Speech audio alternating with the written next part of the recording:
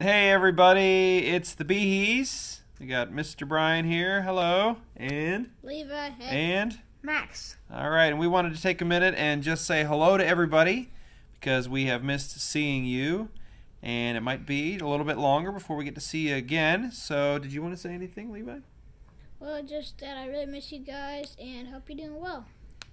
Max, you want to say anything? Um, That's all right. We can come back to you when you think of it. actually, no, no. Oh, you Um, remember? Okay, go ahead. Um, happy happy to be taking this video with you. I'm really happy and hope we get to be doing this again. Oh, I'm doing Awana again. Yeah, absolutely. And so I wanted to take a minute and just say hello to all of my T&T Awana clubbers. And like I said, tell you that we miss seeing you, but we're looking forward to getting back together.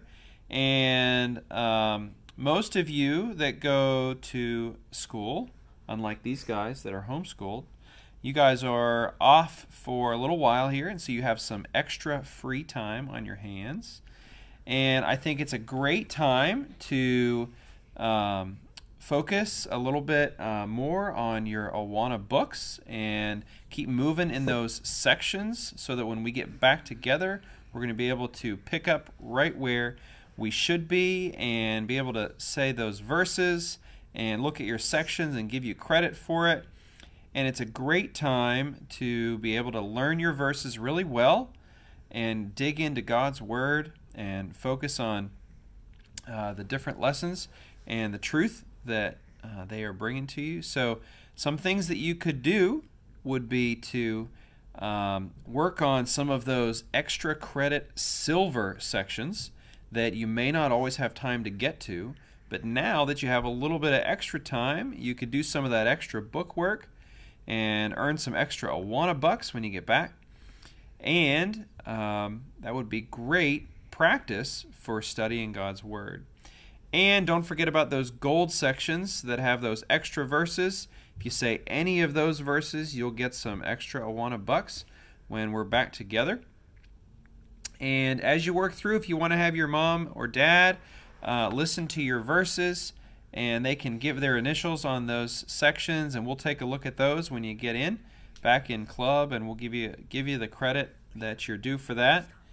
And uh, so those are a couple things that you can do in your free time. I also wanted to just remind all of my clubbers that God is in control, and that even though things are a little different right now than they have really ever been before, this is not a surprise to God.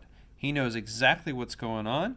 He is in control, and um, we can put our full faith and trust in Him and in the fact that His Word tells us that He is a sovereign God.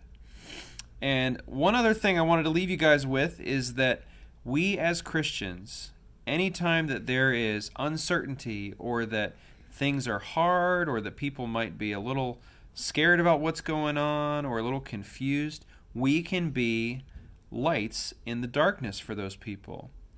And don't be afraid and don't be shy to tell people that your faith through all of this is in your Savior, Jesus Christ. And look for opportunities to say that to people that are in your life. And you're probably your parents are probably going to be calling family and um, your relatives and some friends, and we can all be lights of hope and lights of positivity, and we can point towards Jesus, our Savior, who is our source of hope and peace. And God will be glorified through that. So I just want you all to uh, remember those truths and remember that we love you and we can't wait to get back together with you, right? Yeah. All right. All right, guys. We'll see you soon. See ya. Okay, bye. Bye.